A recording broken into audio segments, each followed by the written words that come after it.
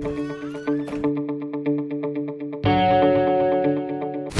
يأتي هذا اللقاء ليعزز عمق العلاقات المتميزة بين المغرب وفرنسا التي تجمع بينهما شراكة شراكتنا الاستراتيجية المتجددة حيث يسعى قادة البلدين من خلال هذه الشراكة المتجددة إلى إعطاء دفعة جديدة للعلاقات المتميزة بين المغرب وفرنسا بما يتماشى مع طموحات البلدين ومواجهة التطورات والتحديات الدولتين معا.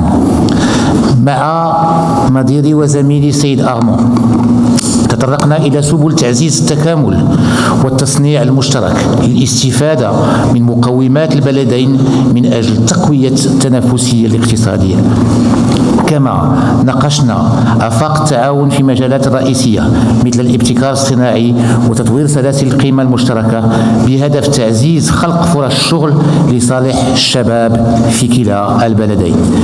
يعكس هذا الزخم الجديد في الشراكة بين المغرب وفرنسا أملا كبيرا لمستقبل مشترك. ونؤكد التزامنا الكامل بترجمة هذه التطلعات إلى واقع ملموس يعزز مصالح بلدينا ويدعو استقرار وازدهار منطقتنا. شكرا. قبل ما تخرجوا ما تنسوش ت abonne او في la chaîne يوتيوب. و partagez الفيديو وديروا j'aime. وتابعوا الدار على مواقع التواصل الاجتماعي.